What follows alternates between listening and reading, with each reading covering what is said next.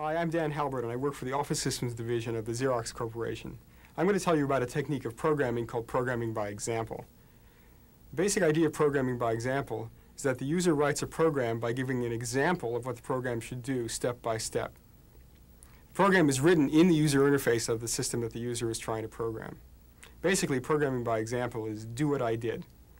I'm going to demonstrate programming by example in a simulation of the Xerox 8010 STAR Office Information System.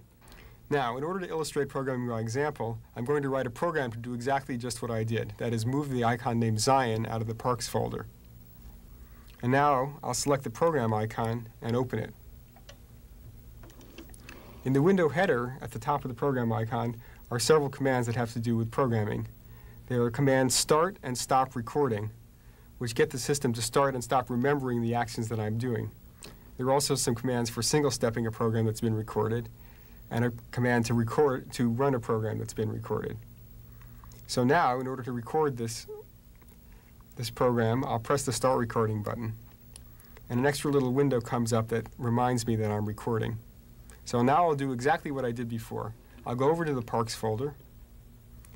I'll open it. And now I'll go down and select the icon named Zion and move it out of the folder onto the desktop. As I'm doing each of these actions, the system is making a transcript of what I'm doing, and it's appearing in the program window. Now, the last thing to do is to close the Parks folder. And since that's the last step in the program, I'll now press Stop Recording. And the system cleans up the program a little bit and takes out those ellipses. Well, let's try this program and see if it works. And what it will do will happen pretty fast.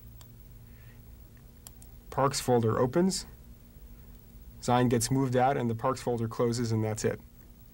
I'd like to write a program that takes out all the documents that have Canyon, the word Canyon in their name. And I can do that by modifying the program that I have here.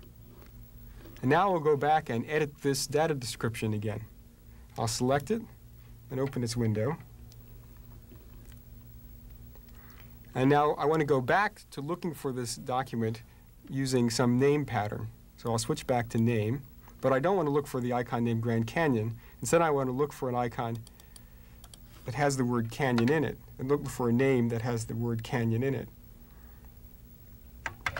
So I'll type asterisk canyon asterisk, which looks for any name with this, the letter C-A-N-Y-O-N inside. Now I'm done, so I'll press the Done button here, and again the program will change and now I'm looking for any document with, with, the, with the word canyon in its name. Now this program moves only one document out of the Parks folder, but I want to move all the documents that match this pattern out of the Parks folder. So what I can do is add a loop to this program. I can select the statement that I want to be inside the loop, and then wrap the statement in a loop using the repeat command in the pop-up menu. All right, now the move statement is inside a loop, and here's this loop that repeats something over and over again. And I want to say that I want to use a particular description repeatedly. Well, it doesn't know which description I want, so I have to fill that in. So I'll select the description I want and copy it and drop it in this blank space.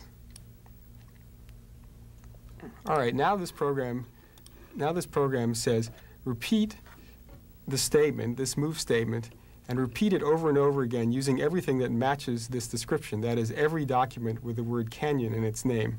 So let's try to run this program.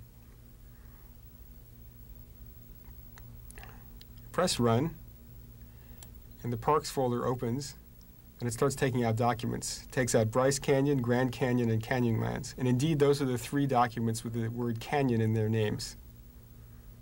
As I said before, programming by example isn't a new idea. What's new in what I've shown you here is the incorporation of programming by example into a system that's as richly functional as STAR, the use of data descriptions to help the user tell the system what data to use, and the addition of control structure to a program by editing a program that's already been recorded. The goal of this research was to make programming easier for people who wouldn't normally program. This goal has been met. Real STAR users have used Small Star and have been able to write programs successfully without much trouble. Programming by example is a step toward making programming accessible to everyone.